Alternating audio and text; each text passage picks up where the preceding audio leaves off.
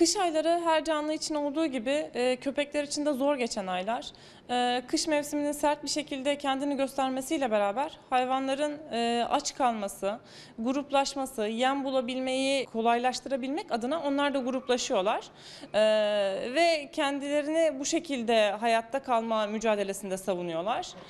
Ee, özellikle soğuk zamanlarda gerçekten hani bizim vatandaş olarak yapabileceğimiz yemek artıklarımızı temiz bir şekilde etrafı kirletmeden e, kaplarla e, kapımızın önüne koyarak onları doyurabiliriz. Böylece bu içgüdülerinin, gruplaşmalarının belki bir miktar önüne geçebiliriz. Çünkü gruplaştıklarında gerçekten saldırgan davranışlar sergileyebiliyorlar.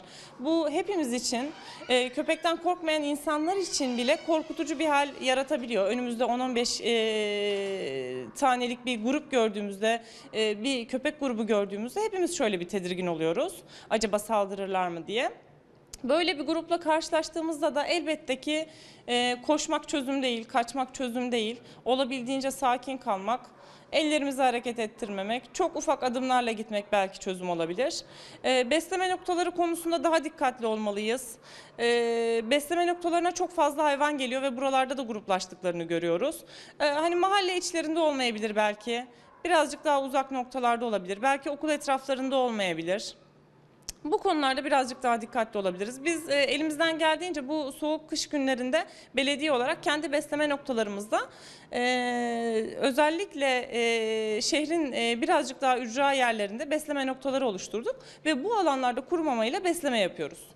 İnsana tehlike olarak sezerse insanı köpek e, bir yiyecek olarak görmez. Tehlike olarak gördüğü anda saldırgan bir davranış sergiler. E, ve bu e, davranışı sergilediğinde eğer gerçekten e, yoğun bir gruptan bahsediyorsak, bir köpek grubundan bahsediyorsak e, bu grubun lideri bize saldırgan bir tavır sergilerse diğerleri de onun peşinden gidecektir. Ee, önemli olan tehditkar olmamamız. Ee, insan hareketleri ya da davranışları nasıl tehditkar olur? Ee, aceleyle iş yerinize koşuyorsunuzdur, bir yere yetişmeniz gerekiyordur. Oradaki köpekleri fark etmemişsinizdir. Belki yatar durumdadır onlar.